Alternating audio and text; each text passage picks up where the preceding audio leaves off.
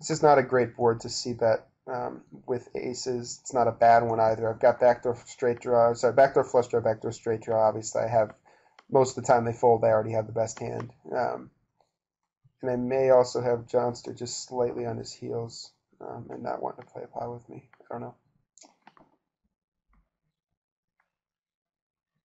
That's a very interesting card. Uh,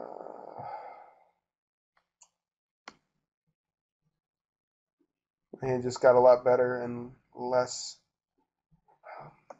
he has an eight somehow. What's he floating with? Draws.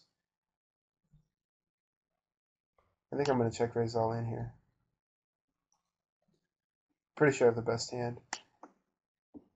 And he's also, the problem is, I, I probably should value bet actually. Because he's going to, I think he would pay off some with the king, and he's never going to bet it. Um, and he could have like a middle hand, middle run type hand with a, with a mediocre eight that he decided to check back for a bit of pot control. That's not too likely. I mean, I, that's a really strong hand, and I think for him to, to check it if when there's a flush draw is um, probably not good. I don't think it's something I would expect someone to do. It's going to be interesting if he bets because I'm not sure what he would be value betting that he wouldn't have other than some kind of mediocre eight, which is a pretty good value bet. Um, I think I've made up my mind that I'm going to call. I saw him take what could have been that call with a draw, check behind, or the sort of the call flop, check turn, bluff river line, or a check check on turn and river line. So I, yeah, let's see what he had. And, I, and I, he's enough of a thinking player to take that line with a bluff and realize that I could fold. Um, something like what I had. What do you have? Tens, 10, 10, 6, 4.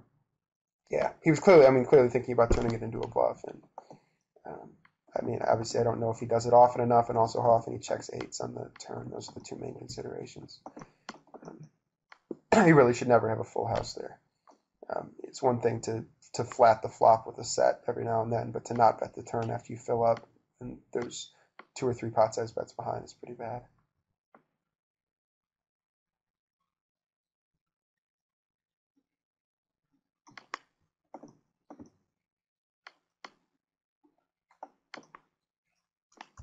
Nobody hit this flop. Most of the time, nobody hit this flop.